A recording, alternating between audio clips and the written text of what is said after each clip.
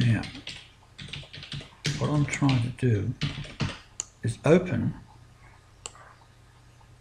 a movie that's in there. And I've got it, I'll place it over here.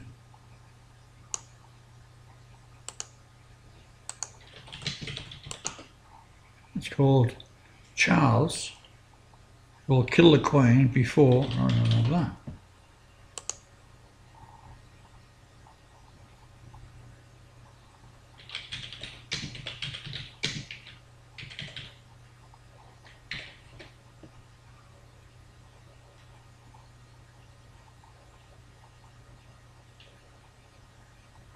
Okay.